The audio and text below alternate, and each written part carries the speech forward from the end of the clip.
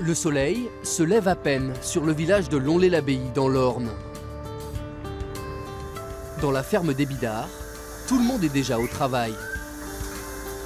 Comme chaque matin, c'est l'heure de la traite pour les 80 vaches de l'exploitation. Ce jour-là, François, le fils aîné, est venu donner un coup de main à sa famille. On est né euh, dans cet univers-là et pour moi c'est normal. Bon après euh, en pleine saison euh, c'est difficile de tout concilier mais c'est dans ces moments de, coupure où, on en profite. hein. François Bidard est coureur cycliste professionnel. Et comme toujours, il profite de ces quelques jours de repos pour revenir à la ferme. J'ai toujours connu comme ça, il a toujours eu cette passion-là pour l'agriculture, du coup euh, pour nous c'est normal, mais c'est vrai que pour certains ça peut être un peu drôle de le voir euh, bah, dans un autre contexte, c'est vrai que c'est pas, c'est pas logique, mais il faut bien que les gens ils aient une passion en dehors du, du vélo aussi. quoi. C'est la vie ici. La vie de François est en fait une double vie. Lorsqu'il quitte la ferme et les bottes, François Bidard, 26 ans, change de braquet. C'est ici, sur les petites routes de l'Orne, que le jeune coureur a fait ses gammes et remporté ses premières courses. Mais c'est loin de la Normandie que sa carrière s'est brutalement accélérée. Il y a deux ans, François a signé son premier contrat professionnel au sein de la formation AG2R, la plus grande équipe française du moment. Peu à peu, François s'est fait sa place aux côtés de quelques stars du peloton, comme Romain Bardet, son leader. Au fil des mois, et en toute discrétion, le petit Normand poursuit sa belle progression. Ma première année j'ai fait la Vuelta et j'ai fait euh, deux fois le Tour d'Italie donc euh, donc le Tour de France j'espère pour, pour bientôt.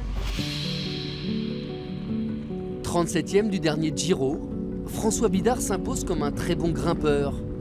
Un équipier modèle sur lequel on peut toujours compter. Une force de caractère qui trouve peut-être ses racines dans son enfance à la ferme. Mes parents à la ferme, bah, c'était pas tous les jours facile, hein, faut... Faut le dire. hein, Quand j'ai eu mes parents un peu en difficulté, quand après, euh, quand je sais quand il faut y aller, il faut y aller. euh, et on n'a pas le choix. Dans le vélo, c'est pareil. Quand il faut y aller, il faut y aller. Il y a trois semaines de course, euh, il pleut, il y a 200 km à faire. Bah, ça fait partie du travail aussi. Et donc, euh, c'est vrai que ça, forge, ça doit forger un peu quand même, je pense. Dès qu'il le peut, François Bidard revient chez lui sur l'exploitation familiale. Un retour aux sources nécessaire entre deux courses à travers le monde.